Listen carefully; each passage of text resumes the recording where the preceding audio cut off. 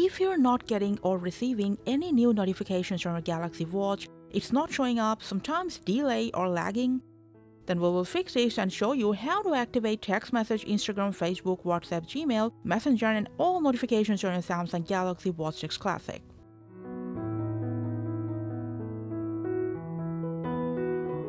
Now first of all, swipe down your watch face and right from here make sure your watch is not on DND or power saving mode. If accidentally airplane mode is turned on, just turn it off. And lastly, if you're in sleep or theater mode, just turn it off from here. Now, especially if you're facing a delay or lagging in notification, what you have to do is just go ahead, open wearable app on your phone from the hamburger menu. Just make sure it's connected to your watch. If it's connected but still facing the same problem, what you can do is just disconnect your watch from your phone for a while and then just reconnect them together. If you're still facing the same problem from the same app, go to Watch Settings, to Notifications, to App Notifications. Now here in the app list, make sure notifications from those apps is turned on from this list. Or you can just allow all the apps.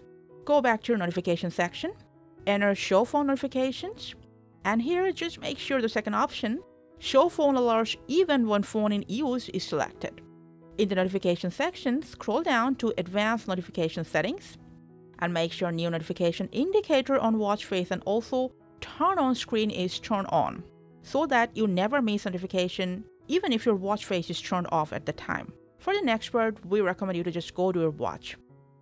From your watch setting, go to Security and Privacy and here just disable wrist detection if it's enabled so that even if you're not wearing your watch, all notifications will come through your watch as well.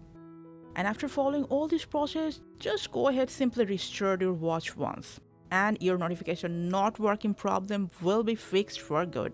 Let us know in the comment section how that went for you. Thank you for watching.